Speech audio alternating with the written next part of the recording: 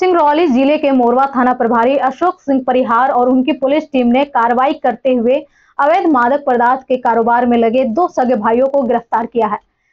वहीं उनके पास से लाखों का गांजा बरामद हुआ है। बताया जा रहा है कि ये दोनों भाई सीमा से लगे सोनभद्र के अनपरा से अवैध तौर पर गांजे की खेप मंगवाकर चितरंगी क्षेत्र में बेचा करते थे। वहीं पुलिस को मौके से एक स्कॉर्पियो मिला है जिसमें भारी मात्रा में गांजा बरामद हुआ है। इसकी कीमत एक लाख बीस हज़ार रुपए के लगभग बताई जा रही है।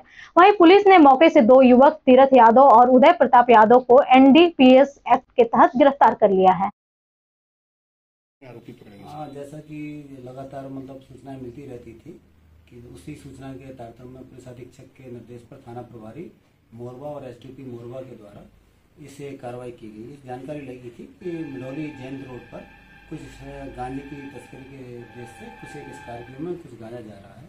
उस पर से थाना प्रभारी के द्वारा उसको घेराबंदी करके पकड़ा गया और उसकी वाहन की तलाशी पर उसमें से 12 पैकेट लगभग 12 किलोग्राम गांजा मिला और उस, उसके आधार पर उसके विरुद्ध